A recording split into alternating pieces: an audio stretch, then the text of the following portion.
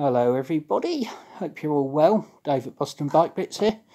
Just thought I'd show you a few of the things I've been messing about with recently. Uh, this is the rear suspension assembly for the twin engine dragster. Um, wrong shocks on there at the moment, but uh, they're the same length as the ones I'm going to use, so that was just to make sure everything was uh, fitting and functioning hunky-dory. Uh, just broken a couple of scooters. This one is a Yamaha Cygnus 125X. I don't know what the X stands for. Uh, um, anyway, uh, what's the other one? Oh yes, Suzuki uh, Address.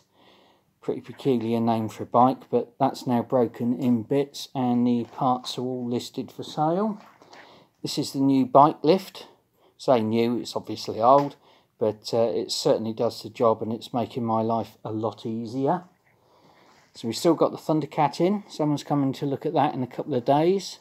Uh, got some interest in the ZZR as well, so hopefully that one will go out. Still love that bike. I think it's gorgeous. Really, really love the look of it. And then there's the Honda F2N. Uh, just change the headlight on that one. Used to have the twin Dominator style jobbies. And uh, my mate Scott said he thought it looked better with a single headlight on it. So that's one of an RD350LC, which I think actually suits it rather well. Quite pleased with that. So that's it. Bye.